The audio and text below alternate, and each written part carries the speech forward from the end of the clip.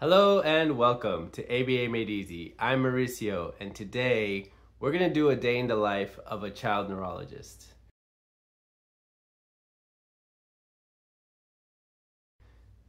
So as some of you might know, I used to be a behavioral technician for two years. Then I got my board certification and became a board certified assistant behavior analyst.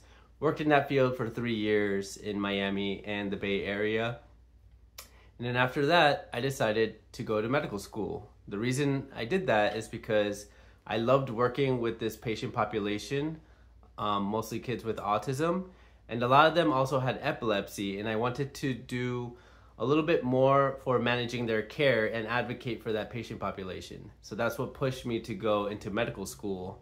And once I heard child neurology was a field, then I was really intrigued and I chased that and now I'm five years into my child neurology training, about to graduate, epilepsy next year, and then I'll be in attending.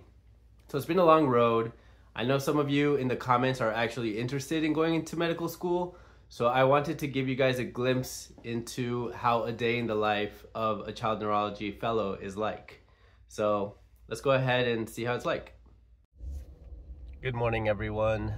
Today is my last day on service as a pediatric neurology fellow, so I thought I'd bring you along, show you what a typical day is like in case you're interested in the field. I woke up around 5.50 in the morning, um, got sign out from the resident that was on overnight, chart reviewed, head to work.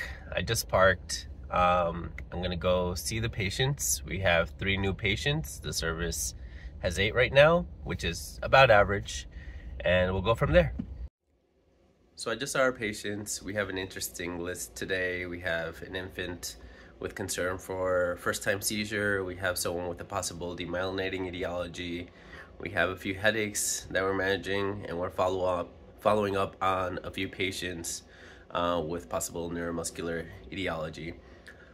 Um, this morning we have neurocutaneous clinic. We do this once a month where we focus on neurofibromatosis type 1, 2, uh, tuberous sclerosis, Sturge-Weber, basically any etiology that affects the ectoderm, so skin and brain. Very interesting clinic. It's run by uh, Dr. Dalby and Dr. Duberstein. And that's once a month. It really varies what we do every day depending on the day. Some mornings uh, we have a lecture, we have lecture with neuromuscular, sometimes we have case conference where someone from adult neurology and someone from pediatric neurology present the case. And then other days um, we don't have much in the morning and then in the afternoon we do something called book rounds where we talk uh, with the chief on service about different cases and we get to know these patients a little bit more and this is more to follow up on patients that have been discharged and see what we can learn from each case. So excited for neurocutaneous clinic this morning.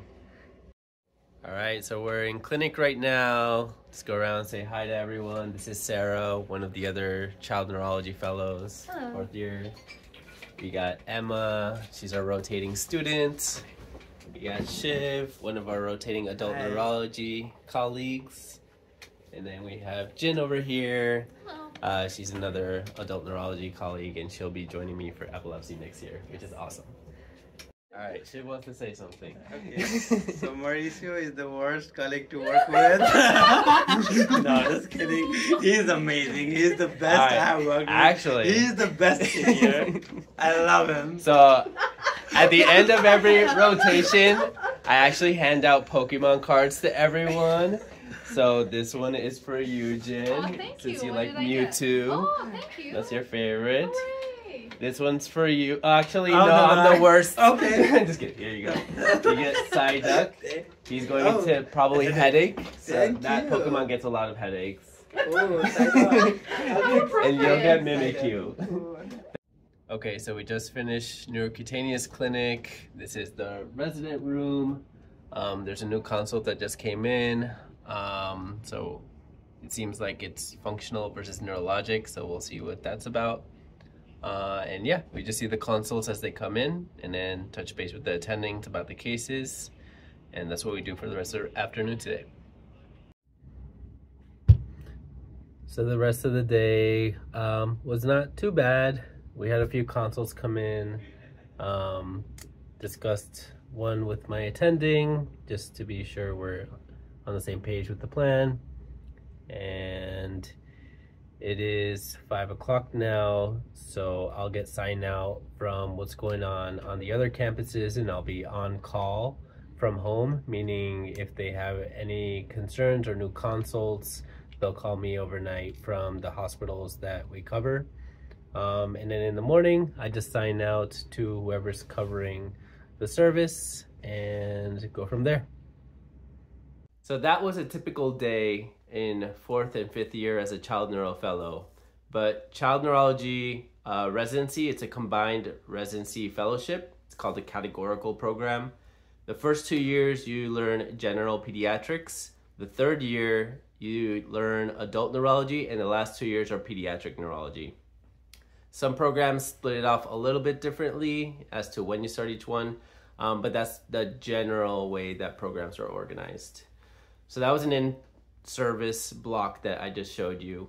There's also different electives that we go through. You can go um, learn a little bit of EEG and epilepsy. You can learn neuromuscular, EMG, um, you can learn neuroimmunology, psychiatry. So you learn a bunch of different things. I'm interested in neurodevelopment and epilepsy, so I tailor my electives around that mostly.